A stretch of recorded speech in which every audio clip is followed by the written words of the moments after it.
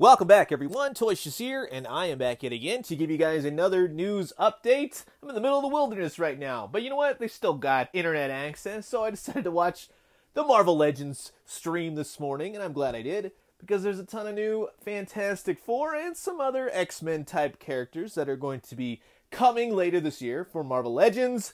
They just kind of jumped right into it. Ryan, Dwight, and Dan took it away 60th anniversary for the Fantastic Four, which means new Fantastic Four action figures and ones that are based off of, let's say, retro Toy Biz Fantastic Four figures, which, you know, personally, I love. But at the same time, you know what? If you haven't already got them, you might want to jump on that retro Doctor Doom that came out, what, last year, or something like that. I will have links for all of these things down in my description. Depending on when you see this video, they are not going up the same day as the reveals for today. They will be up tomorrow, which is Tuesday. So, again, whenever you see this, links in the description below. Hopefully, come back.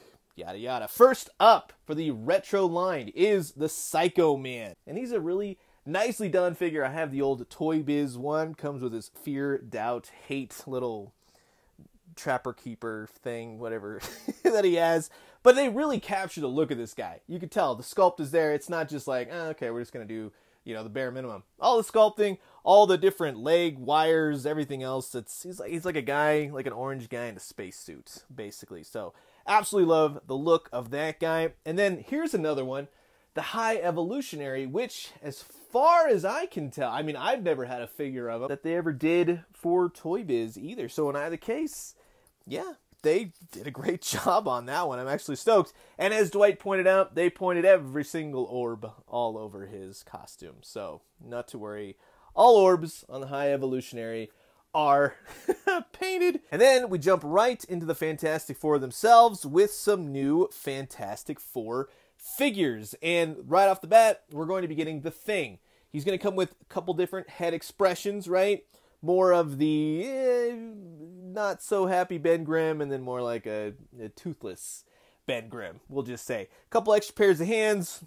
Ryan went as far to say, you know, this is uh, it's going to be heavy on the packaging, so it's the same kind of heft you expect from the Thing figure, from the Walgreens figure, from the last Super Skrull build a figure wave. So in either sense, he looks good. He's got some darker blue trunks to match, let's say, the new Mr. Fantastic. This one actually looks quite fantastic. I love that they did the whole Moira McTaggart thing where you can put him in the white lab coat or you don't have to. Plus he comes with some arm extension. Those those finger hand, I'm not a big fan of those, but I mean I'm, I'm glad they're a little bit different now. They have like a white glove to them. So, yeah, they're interesting in that sense. Then we move on into the flame on Johnny Storm he's going to have those painted black lines like the classic artwork for Johnny Storm. That's how I think of Johnny Storm.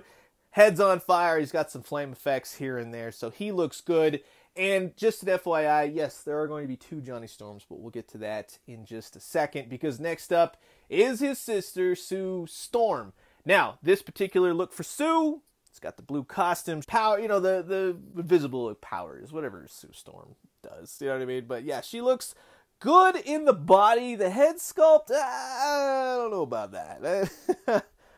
we'll see what happens on that end. But in either sense, you know, yeah, we got a new Sue Storm coming. And like I said, pre-orders will be available starting tomorrow. So depending on when you see this video, I'll have the links in the description below. These should go everywhere. We usually get our Marvel Legends at some point later in the year as well. Now we're going to be getting two different Hasbro Pulse exclusives. Now they said Hasbro Pulse doesn't mean that they could potentially be like Entertainment Earth and those types of fan channels, but as of right now, they are on Hasbro Pulse only. Again, pre-orders tomorrow, yada yada. Invisible Woman, who's actually invisible. So kind of again taking a nod to the original Toy Biz sort of one where she's all clear plastic they're going to be doing that same deal. And yeah, it's the same exact figure as the more in the retro line that we just talked about, just all clear. And then we're going to be getting that Johnny Storm depowered down version. Of course, that was teased a way bit back. So Johnny Storm, his sister Sue Storm, both Hasbro Pulse exclusives for now. If they go elsewhere, yes, I will put links up everything else. But for right now, they are Hasbro Pulse exclusives, and I'll tell you this: that is the Johnny Storm that I wanted. They got you sneaky. That's a sneaky, sneaky move.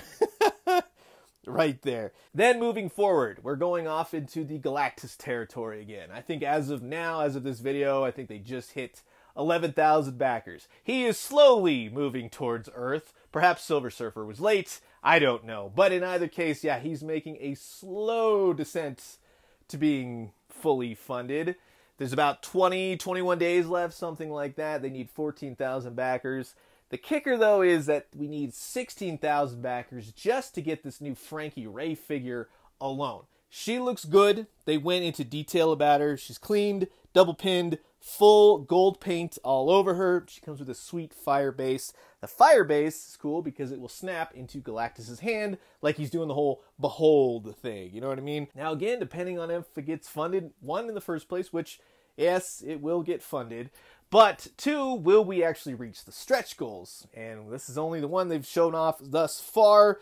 They said don't plan on her really. I mean, they say this, but they say you know don't plan on her ever being re-released outside of this HasLab project. So we will see how this goes. So if you want Galactus, back him. If you don't want Galactus, don't feel bad. It's not a big deal. If you can back him, don't make people feel bad. Just let people be. God, just relax. It's a toy, for God's sakes.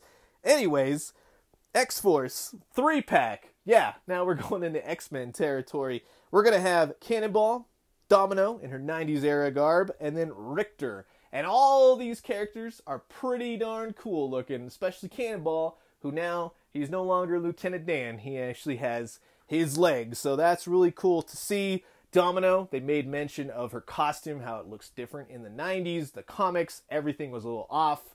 Shoulder pads, they made the details happen. So that's cool. It's not just like, eh, we'll just fudge it. You know what I mean? And then you got Rictor, who I couldn't tell you anything about, but he looks cool. Maybe I'll do a Who in the Holy Heck video on him. He sounds kind of fun, but he's got the powers. He's got a really cool look to a very 90s, very Toy Biz look to him, and that's why I really like this pack. I like the way that it came out. This is going to be a shared exclusive between Hasbro Pulse and Shop Disney. Again, links in description below when they're applicable. Yada yada. So, Fantastic Four to really wrap it up, right? 60th anniversary, all those figures. Galactus, if you want to back him. And then you got the X Force pack if you want to go ahead and grab that as well. They did have one last tease Ryan showed it off. It's a little hand. It looks like a certain vampire's hand. It looks like a certain animated blue haired vampire's hand with the little suction cup blood things because they couldn't show him eating people for good reason on the 90s, you know, Fox Kids animated TV show. This is my guess. If you think it's something else, by all means, yes, comment below. But I am so hoping that it is animated series Morbius. So, Dan, Dwight, Ryan, thank you so much for doing this whole Marvel Legends reveal. I'm going to get back to camping, but I hope you guys have a great rest of your week. What Marvel Legends figures are you excited about? Which ones are you like, eh? And are you going to be backing Galactus? Have you already? Comment below, let me know. Let's talk everything Marvel Legends. And I'm going to leave you guys with that. As always, drink some great coffee, eat some great food, but most importantly, remember, have a nice big cup of coffee this week. Relax, enjoy, collect some figures if there's time, but just enjoy the outdoors. And when you do, let me know what you found. I'll talk to you guys soon. Adios.